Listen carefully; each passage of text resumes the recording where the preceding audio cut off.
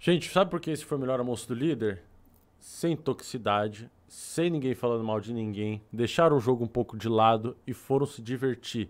E é isso, que é por isso, né, que eu e muitas pessoas que assistiram hoje o almoço do líder acreditam que esse foi o melhor almoço do líder que já teve.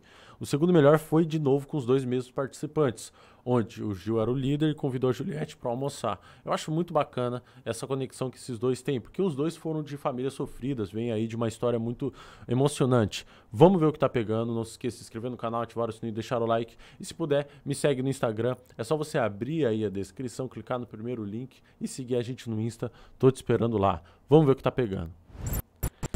E seria ingratidão minha, né, gente? Não agradecer a tantas pessoas que estão seguindo a gente no Instagram. Seria ingratidão da minha parte. Se você puder, vai lá, arroba olá, underline, sou, underline, Rafa. Ou se você quiser, abre o primeiro link da descrição e segue. É só abrir a descrição e clicar no primeiro link. Eu sou muito grato a todas as pessoas que estão seguindo a gente. Fico muito feliz com a participação de todos. E vamos ver aqui o melhor almoço do líder, com certeza, gente. Com certeza.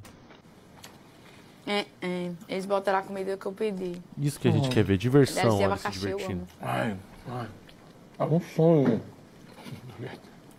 Cadê a desse? Jura, tentando do chegar no almoço.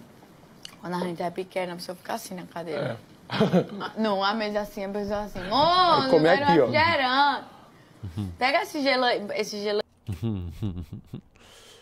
Quer ver? Eu acho que alguém deve ter comentado isso, não é possível. Ninguém melhor que o Gil pra estar nesse momento com ela, mesmo depois de tudo que passaram.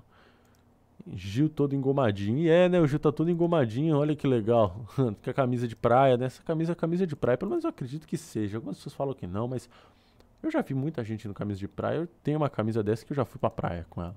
Vou até, vou até postar no Instagram essa, eu com, essa, com uma camisa dessa na praia, tá certo? Então corre lá no Insta, primeiro link da descrição. É só seguir que daqui a pouco tem fotinha nova lá. Tamo junto.